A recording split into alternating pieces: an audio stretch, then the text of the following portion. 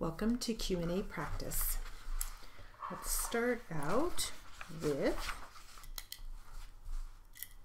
defense attorney. Ready? Here we go. So you had some idea what to do and how to do this search, right? Some idea. Is it your testimony that before Saturday morning, November 5th, you had not done anything in terms of investigating or searching for Lynn or her vehicle? No, I haven't, hadn't. And after that, did you also do any additional investigation on your own? Yes, I did. And did you, in fact, were you, in fact, called to an area near Mishicot by some individuals who had found what they thought might be some evidence? I don't recall being called by someone, no. Well, did you, were you with somebody looking in the area of Mishicot? We were in the area of Mishicot, and I spoke with some of the business owners in Mishicot. Those were bars, right? That's correct. And they were down near the river. No, this was about, the river is about a quarter mile from the actual town. Okay, and what day was that? I'm not sure. Well, was it Saturday night? Was it nighttime or daytime? No, it was during the day. So it was, you know, Sunday, Monday, Tuesday, one of those days that I had a day off and I wanted to help out. And what was your purpose in going to those bars and talking to those to see business owners to see if anyone knew anything about Lynn or had seen Lynn. Okay, and were you passing out your name and phone number or anything like that for people? I don't recall doing that, no. Do you remember being called to an area near the river, a turnaround area near the river by one of those individuals from the bar area to look at some? I know we had searched around the river area and then at that point we, meaning one of the bar owners in town, said he would come down and help me out. And on the search, we had found a cell phone. And what was that bar owner's name? I don't recall. Do you remember? Do you know an individual by the name of John Camp? I'm not sure if that was his name or not. Okay, and you found a cell phone down by the river? Yes.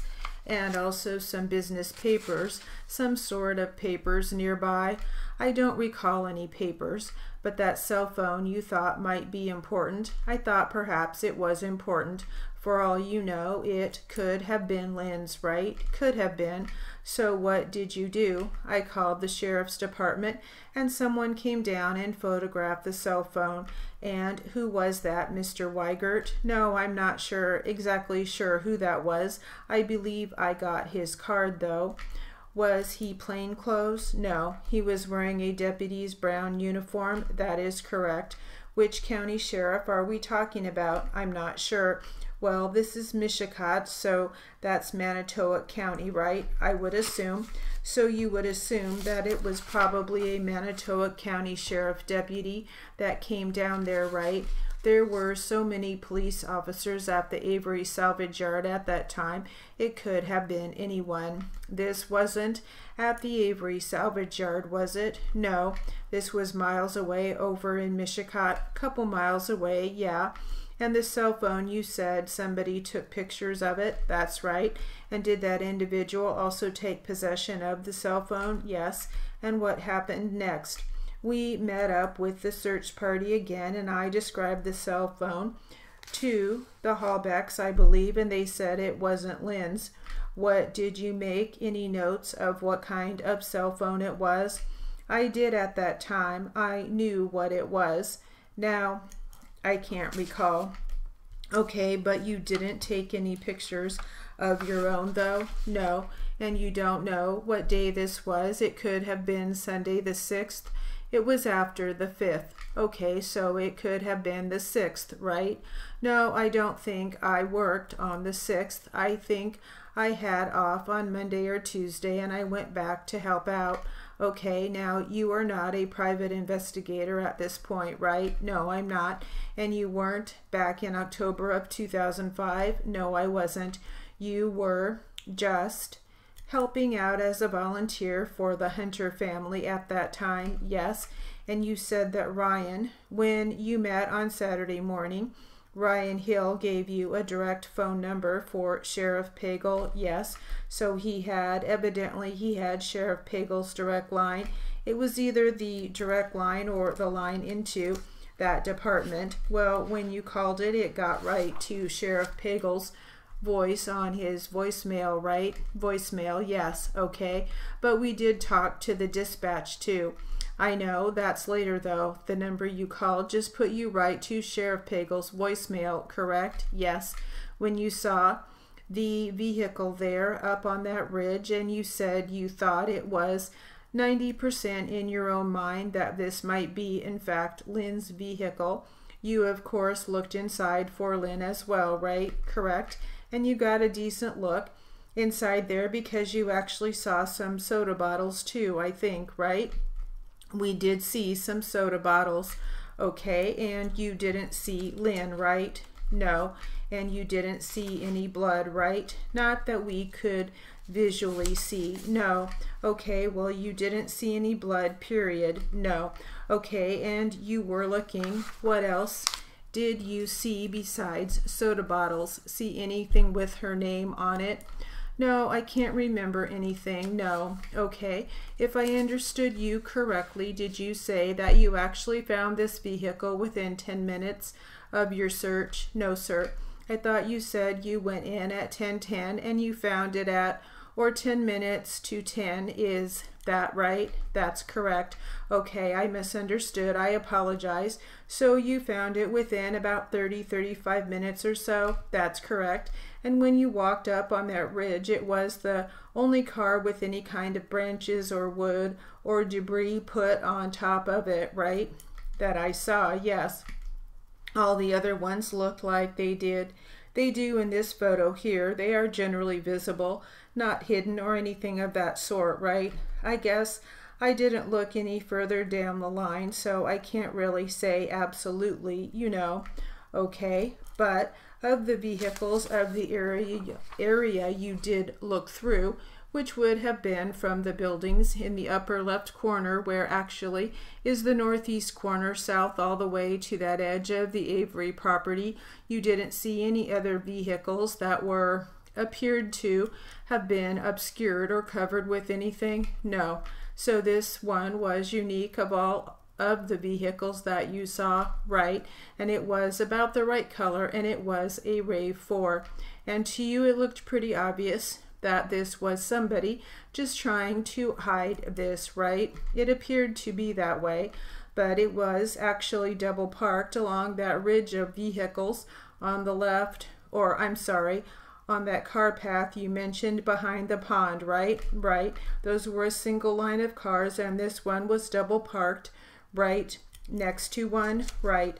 On the tape I heard you say something, I think, about there were people nearby while you were at the scene and calling in to report this.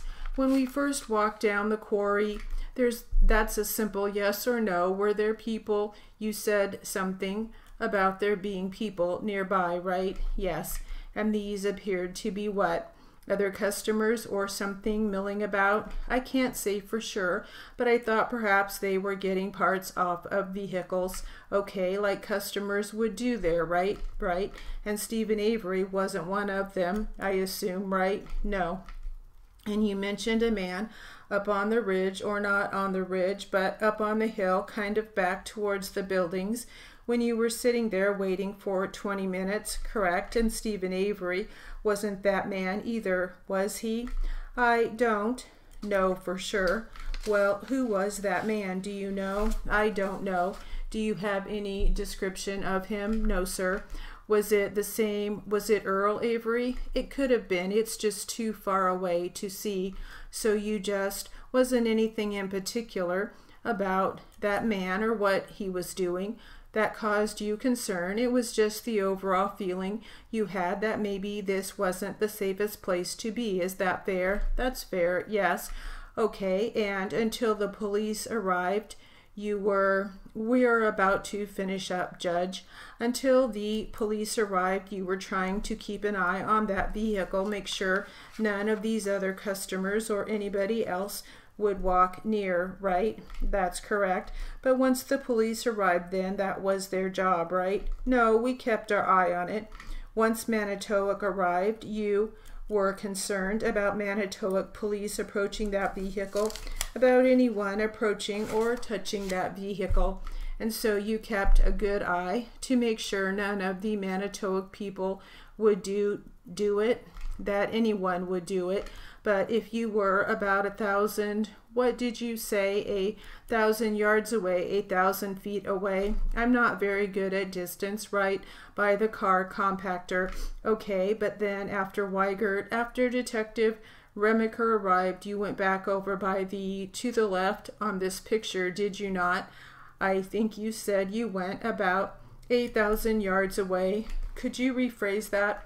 I believe maybe I misunderstood you, but I thought I thought you said that you walked about 8,000 yards away from where the vehicle was when Detective Wiegert arrived.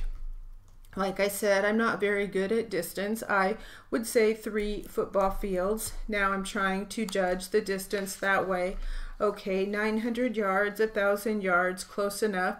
And you weren't paying attention at that point then to what was going on with the car from that big of distance away once, once investigator Wiegert arrived, right? Judge, I'm sorry, I know this is late, but a football field is only 100 yards. Three of them wouldn't be 900 if my math. You are right, I'm sorry, I'm sorry. It is late, 900 feet. But after Wiegert arrived, you were talking to Investigator Wiegert, gave an oral statement to him, right? Right. And you talked to Dieter and gave an oral and written statement to him, right? Correct. All right, that will conclude our Q&A practice.